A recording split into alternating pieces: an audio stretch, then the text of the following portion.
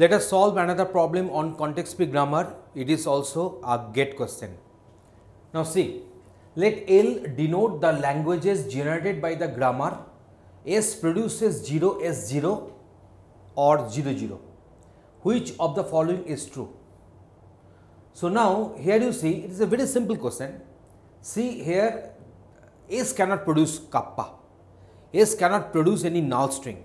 S can produce strings consisting of zeros and if you look at this particular production, two productions are there, then S can generate languages which is nothing but 0 0 whole plus. So that means you see the language generated by this grammar is 0 0 whole plus because always even number of zeros will be coming and that is ensured you see if you produce s produces 0 0 at the first then it will having two zeros.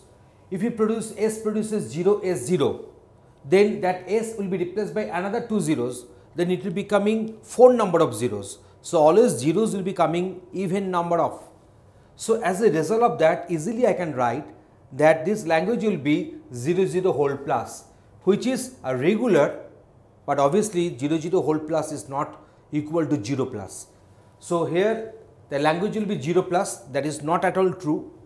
The language will be regular but not 0 0 plus I think that is correct and so my option number B will be the uh, right answer. I think in this way the problem can be solved. Thanks for watching this video.